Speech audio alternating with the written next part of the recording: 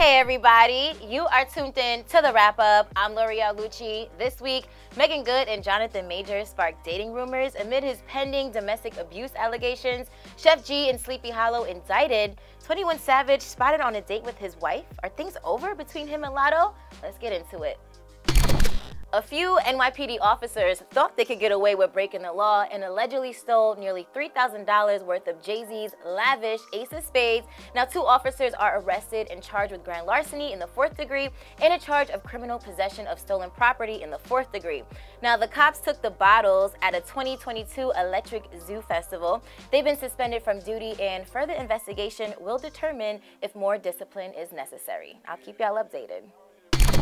Moving on, rumors of Meagan Good and Jonathan Majors dating exploded on social media. Now, the news is shocking because Jonathan is at the center of several assault and harassment allegations. According to People, Meagan, who has been divorced from religious leader DeVon Franklin since 2022, is reportedly showing support to Jonathan. Now, neither of them confirmed or denied the story, but the Manhattan DA did charge Jonathan with multiple misdemeanor counts of assault and harassment back in March. His ex girlfriend accused him of hitting her in the face and grabbing her. Since then, multiple women have come forward with abuse allegations, and Jonathan was dropped from several movie projects and brand deals. Sheff G was on his way home after doing a two-year bid, but got hit with some more legal troubles. The Brooklyn rapper, Sleepy Hallow, and 30 others were charged with conspiracy to commit murder in the second degree and criminal possession of a weapon, also in the second degree. Now, it seems like prosecutors want to paint Sheff as the leader when it comes to gang activity.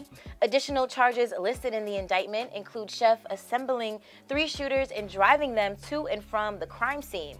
Prosecutors also say Sheff and his sister Crystal Williams conspired with the shooters to commit murder and treated a group of nine people, including Sleepy Hallow, to a dinner at a Manhattan steakhouse as a reward for carrying out the Folk Nation shooting.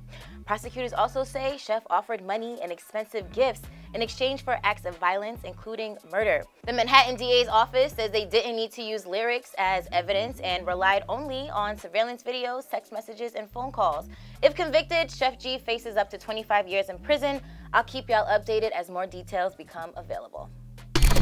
Adidas has a solution to losing $540 million in unsold Yeezys after cutting ties with Kanye West nearly seven months ago.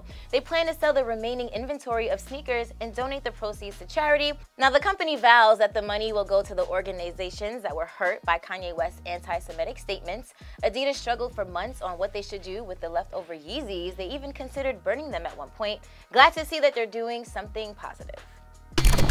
Good old social media detectives suspect 21 Savage and his girlfriend Latto broke up as 21 was spotted on a date with his wife. Yes, I said that correctly. Now 21's alleged wife is a woman named Kiana and she shared a picture of her drink and captioned it date night. In the background, you could kind of see 21 Savage's cell phone. Now I did post a picture for you guys on hot97.com in the wrap up section.